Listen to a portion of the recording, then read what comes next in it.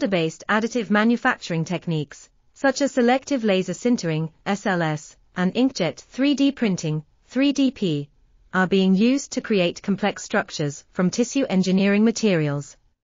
These techniques can produce parts with high accuracy and low cost, making them ideal for tissue engineering applications. Research has focused on optimizing these techniques to improve mechanical and biological properties of fabricated tissues and scaffolds. Parameters such as laser power, scan speed, and powder particle size have been optimized to achieve desired results. Additionally, new biocompatible or bioactive materials have been developed to enhance the mechanical and biological properties of laser sintered and 3D printed tissues. Finally, researchers have explored ways to improve the mechanical and biological properties of tissues by optimizing the processing conditions.